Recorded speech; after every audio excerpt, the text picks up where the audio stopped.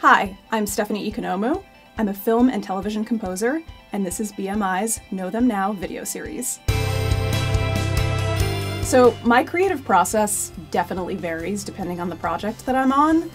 Sometimes I'll start by writing a theme suite where I'm kind of exploring different melodies and ideas. I'm finding sound palettes or sound worlds that I, I want to expand upon. Sometimes I start by calling up a performer friend of mine. For example, I work very often with a singer named Ari Mason, who also plays viola da gamba. So sometimes I'll call her up and say, listen, I have this project, I have this idea, what do you think? And I'll sometimes send her a sketch that is is very bare and minimal, and I'll apologize profusely and say, this will be music at some point, but what do you think? And being able to reach out to somebody else and kind of get out of that isolated bubble that is your own mind and creativity is really crucial in just kind of breaking open the process. Getting someone else to just kind of breathe life into your music, for me, that's really critical. It's really essential you know, it doesn't always start out that way. Sometimes I have a lot of really fleshed out ideas and then I record an ensemble or some soloists at the end of the process. It really does depend on what my general conceptual approach is when I start.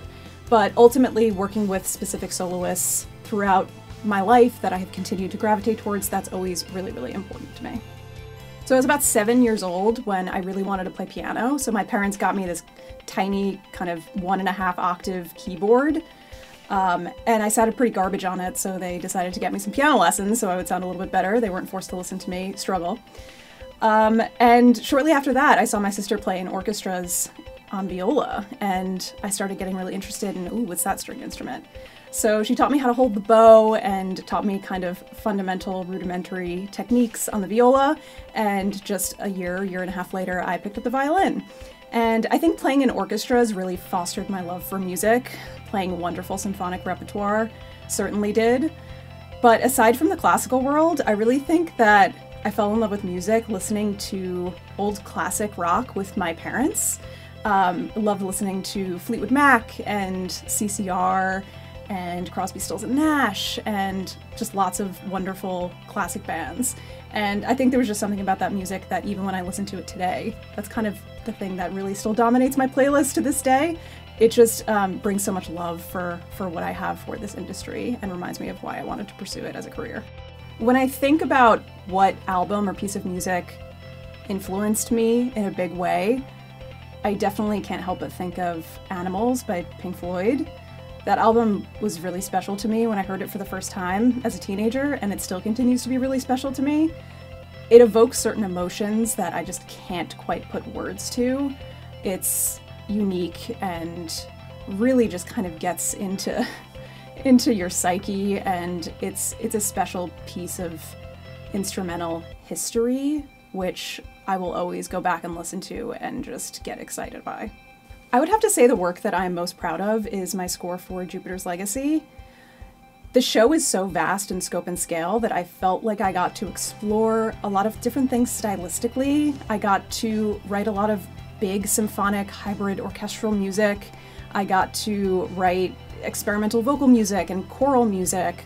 I got to write industrial rock music. There was just something really unique about that show and that narrative that allowed me to kind of stretch and flex some compositional muscles that I don't always get to do. So I'm really thrilled and excited that I was able to do a soundtrack release for that, and I am certainly proud of the music that is on that album. How do I avoid writer's block? Um, yeah, it's a bit of a mystery. I would say don't beat yourself up. You know, allow yourself time to fail and when there isn't time to fail, just hope that it's going to come together. And I think when you're under those, you know, immense time crunches that some of these schedules with TV especially have, there's an adrenaline about it. You know, you always worry like, am I going to do the best job that I possibly can? Am I going to be able to pull off this concept, this idea that's in my head? Am I going to be able to execute it?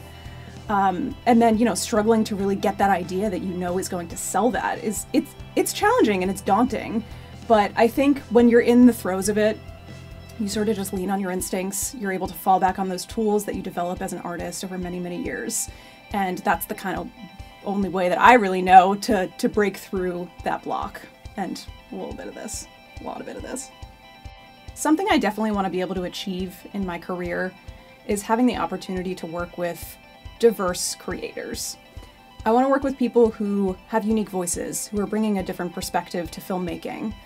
I want to be able to be challenged by these people. I want to be able to explore techniques and, and different creative styles that are out of my comfort zone so that I'm able to grow.